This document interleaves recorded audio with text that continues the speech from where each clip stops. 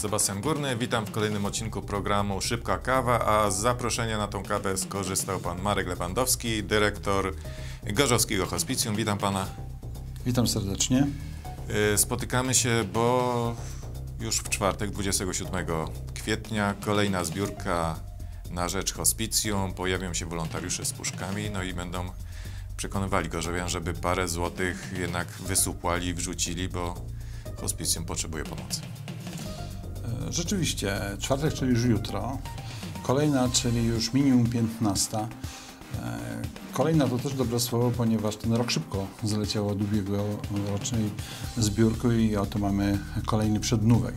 Tę zbiórkę e, nazywam przednówkową, bo zwykle na e, początku roku jest dużo ciężej, jako że główne zasilanie, jakie hospicjum, poza oczywiście Narodowym Funduszem Zdrowia e, posiada, czyli e, zbiórka z 1%, e, wpływa dopiero w końcu lipca albo na początku sierpnia.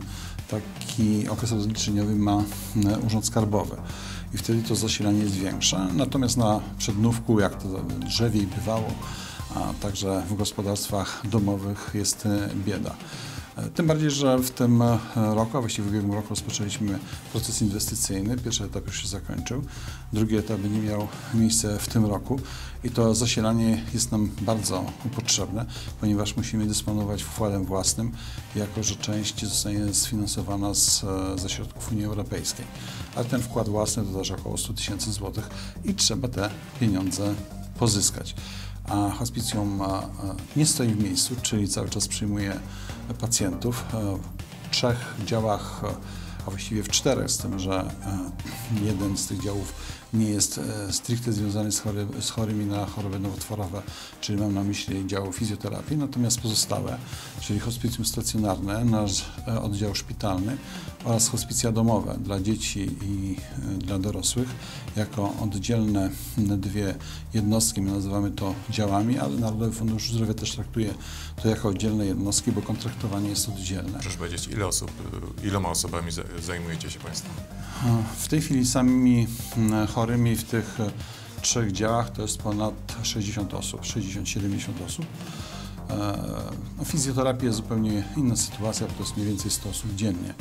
E, Tego nie wliczamy do tych statystyk hospicyjnych. Poza tym posiadamy też w- ramach działalności statutowej dział pobytu dziennego. To jest w tej chwili 18 chorych, którzy są przewożeni na dzień. Tu mają trzy posiłki, tu mają opiekę, zorganizowany e, czas, są przywożeni bądź przez nas, bądź przez rodziny. I mamy też opiekę postterminalną. W tej opiece postterminalnej mamy dzieci osierocone. Właśnie kilka dni temu otwieraliśmy e, świetlicę, nową siedzibę dla nich, e, czyli ten pierwszy etap, o którym wspomniałem, inwestycyjny. Dzieci już mają własne pomieszczenie, własne lokum, mogą czuć się tam e, swobodnie. Drugi etap, jak powiedziałem, rozpoczniemy pewnie lada dzień. Czekamy na przyciśnięcie zielonego guzika przez e, Urząd Marszałkowski. Proszę powiedzieć, bo z, jak przez, przez lata śledzę jako dziennikarz poczynania hospicjum, no to wiem, że nie przelewa się, ale to tak mówiąc delikatnie, tak naprawdę zawsze brakuje tych pieniędzy. To ile tak naprawdę tych środków do, do takiego normalnego funkcjonowania brakuje? Ile, ile potrzeba? E, Budżet Hospicjum Świętego Kamila roczny to jest w granicach 3 milionów 200 tysięcy. W zależności od tego, czy inwestujemy, czy nie, czy robimy jakieś remonty, czy nie. W tym roku, tak jak powiedziałem, będą, więc to jest minimum 3 miliony 200 tysięcy, z czego około 2 milionów, 2 milionów, może 200 tysięcy jesteśmy w stanie pozyskać z kontraktów z Narodowym Funduszem Zdrowia, a więc około miliona będzie brakowało. Mówię, że możemy pozyskać, bo w, w tej chwili toczą się procesy e, konkurs, konkursowe i nie wiemy, jakie te e, środki będą. Ale można założyć, że tak jak pan wspomniał, około miliona trzeba Około miliona, czyli, sumptem czyli, jak, zdobyć. tak? czyli jak co roku, prawda? Brakuje tego miliona złotych. Ja zawsze wyrażam przy okazji tego typu rozmów wdzięczność e, mieszkańcom Gorzowa głównie, jakkolwiek nie tylko, bo darczyńców mamy także spoza Gorzowa, za e, ten wkład w to hospicyjne dzieło, bo ten milion złotych to głównie pochodzi z kieszeni mieszkańców Gorzowa. Ale tak jak powiedziałem, nie byłoby możliwe funkcjonowanie tej placówki, gdyby nie te dodatkowe środki. One w zasadzie są takim języczkiem uwagi funkcjonowania e, całości tej placówki. Nie wiem do jakich rozmiarów i o ile musiałaby się rozrosnąć, żeby mogła być e, samodzielna finansowo i jakie e, formy działalności należałoby podjąć, żeby one przynosiły takie dochody, żeby rekompensowały, a właściwie równoważyły koszty. Jeżeli chodzi o zbiórkę publiczną, bo ona będzie miała miejsce już jutro, to z pewnością o, mieszkańcy będą zainteresowani, jak rozpoznać wolontariuszy. Właśnie, bo, bo każdy, rzuca w dobrej wierze, ale nie, nie zawsze ten, kto, kto trzyma tą puszkę, akurat zbiera na hospicjum. Czasami może zbierać na, dla siebie, tak? Ale, ale jak rozpoznać tego wolontariusza, który właśnie zbiera dla hospicjum? Myślę, że jutro nie będzie możliwości pomylenia się ponieważ wszyscy wolontariusze będą mieli e, metalowe puszki oklejone z napisem Dar na Hospicjum Świętego Kamila, a także każdy z wolontariuszy będzie miał legitymację, czyli taki identyfikator ze swoimi danymi e, osobowymi, e, z numerem zbiórki publicznej, który to numer nadaje ministerstwo, do którego się zwracamy, czyli Ministerstwo w tym przypadku Rodziny i Pomocy Społecznej, Pracy i Polityki Społecznej dokładnie. E, I jest napisane tam, że ważna jest ta legitymacja tylko jeden dzień. Ona ma mm, specyficzne e, mm, szczegóły, które są nie do podrobienia po to, żeby nikt nie mógł tych legitymacji mm, podrobić. I zbiórka będzie od godziny 8 do godziny 19 i wolontariusze tak oznakowani będą stać e, na ulicach miasta w różnych punktach. Ile to jest wolontariuszy pomaga hospicjum? No dzisiaj jest to ponad tysiąc wolontariuszy. Dokładnej liczby nie wiem. Chyba wczoraj, do wczoraj się zgłosiło 1020 wolontariuszy. W ubiegłych latach było to troszeczkę więcej, 1100-1300 w tych granicach. E, w tym roku jest troszeczkę mniej, może jest to niefortunny termin, ponieważ jest tuż przed maturami. E, ci, którzy mogliby nas wspierać, czyli osoby już dorosłe, a takimi są tegoroczni abiturienci. E, uczą, niestety się, się tak, na, uczą, są na ostatniej prostej. Zakuwają przed maturą. Miejmy jednak nadzieję, a my taką nadzieję e, mamy, że ci, którzy się zgłosili, również staną na wysokości zadania. Trochę miejsc, w których zbiórka w latach ubiegłych była przeprowadzana nam była ze względu na roboty budowlane w mieście, a więc nie wszędzie w tych miejscach, które mieliśmy wcześniej poobstawiane.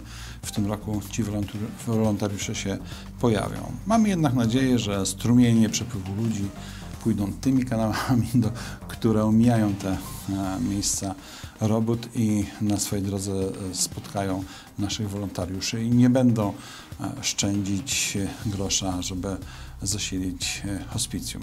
Ja może jeszcze dodam na koniec, że, że tego wątku, że mm, przez 24 lata, bo w przyszłym roku będzie 25-lecie istnienia hospicjum, przez hospicjum przewinęło się ponad 12 tysięcy chorych.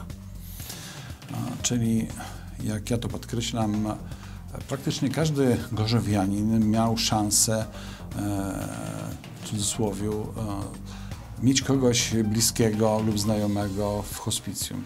Stąd myślę też, e, hospicjum jest e, popularne, jeśli chodzi o mm, e, rozpisywanie tych darowizn z 1%, a to widzimy jaka liczba co roku, to jest kilka tysięcy osób z Gorzowa, ale także z ościennych miast, na przykład bardzo dużo z Solęcina wpływa także środków z rozliczeń z tego 1% dodatku od osób fizycznych.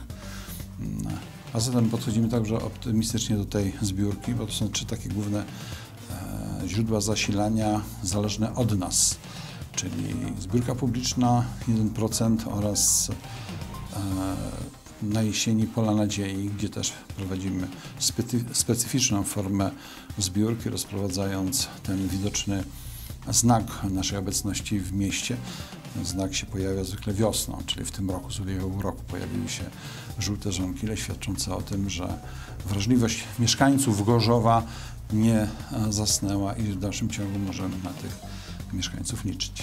Miejmy nadzieję, że tak będzie już jutro, czyli w czwartek.